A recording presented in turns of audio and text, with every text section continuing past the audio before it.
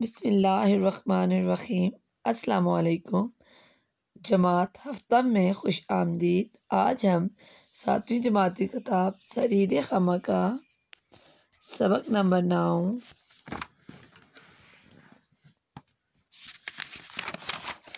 Abu Muhammad Zakariya Razi के मशक़ी सवाल हल करेंगे, जो कि सफ़ा नंबर तीस पर मौजूद हैं। सवाल नंबर एक मंदरजा झैल सवाल के जवाब तहरीर कीजिए। इन तमाम सवाल के आपको नोट्स दे दिए गए हैं। मंदरजा झैल अल्फाज और मुहावरात को अपने जुमलों में इस्तेमाल कीजिए, यानी कि आपने इनके जुमले बनाने हैं। फ़िक्र, दामन, गिर, होना, यानी किसी चीज़ की फ़िक्र होना। अलराजी जब अपने घर बार का हुआ तो कमाने की फ़िक्र, दामन, गिर हुई। चारों नाचार यानी मजबूर होकर ना चाहते हुए। अल राज़ी चारों नाचार डॉक्टर को पाँच सौ अशरफियाँ देने पर राज़ी हो गया। जोहर खुलना यानी कि सलाहियत वाज होना। अहमद की अक्लमंदी के जल्द ही सबके सामने जोहर खुलना शुरू हो गए। बासलाहियत यानी किसी चीज़ की सलाहियत होना अलराजी एक बहुत ही बासलाहियत डॉक्टर साबित हुए। संग मील, यानी कि मंजिल की निशानदेही।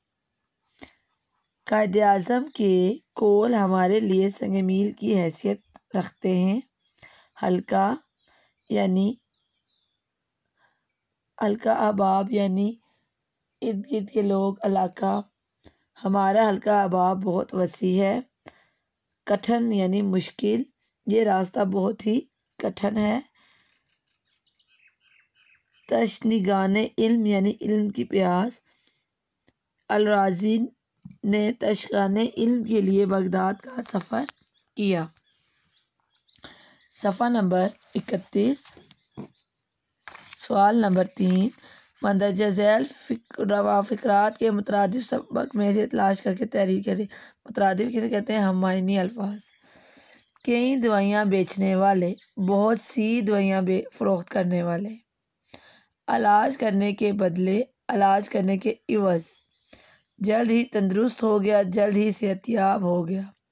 सफ़र लंबा था, यानी सफ़र तवील था। इब्तदा में तो शुरू में तो। मुस्तकबिल की कुंजी थी, मुस्तकबिल की कील थी। सेहतियाब होकर वापस जाते, तंदुरुस्त होकर वापस जाते। मंदरजा झैल वाहिद की जमा और जमा के वाहिद तहरीर कीजिए। यानी आपको ये वाहिद अल्फाज दिए गए हैं, आपने जमा लिखने हैं। फ़िक्र, अफकार वाक़ वाक़ात तबीयत अतवा तकलीफ़, तकालीफ़, मर्ज, अमराज, मकाला, मकालत। मंदरज झैल अल्फाज के मतजाद, तहरीक मतजाद यानी उल्ट अल्फाज।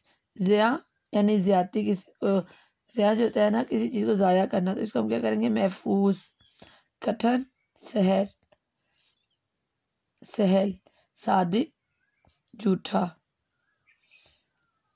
बेहतरीन, नाकिस। तकलीफ़ आराम, माहिर, नाकार। क्या आप बता सकते हैं कि मंदरज ज़ैर मुसलमान साइंसदानों की वजह शहरत क्या है? यानी ये साइंसदान क्यों मशहूर हैं? बू अली सीना, ये क्यों मशहूर हैं? क्योंकि इन्होंने पिन होल कैमरे की ईजाद का अहम कारनामा सर अंजाम दिया था।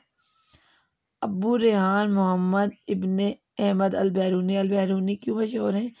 क्योंकि इन्होंने रियाजी हियत तारीख़ और जगराफ़िया में बहुत सी उम्दा किताबें लिखी और रियाजी के मुख्त मसाइल हमें बताए उन्हें उनके हल बताए। जाबर बिन हयान केमिस्ट्री के बानी की हैसियत से मशहूर हैं। मोहम्मद बिन मूसा होलज़मनी इन्होंने बहुत से मशीनी औज़ार और साइंसी खिलौने ईजाद किए। मंदजैर कवायद की रूह से क्या है? यकायक ये क्या है? ये है हमारा फ़ेल मुतदी ईरान, इसम मारफा के हरफ बयाँ, लिए हरूफ जार, पाँच सौ मरकब अददी की हरूफ इजाफ़त और हरूफ अतफ़, अलूम फ़लून, इजाफ़त तखसीसी।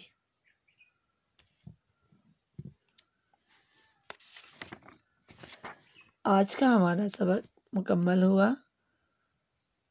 शुक्रिया अल्लाह हाफिज़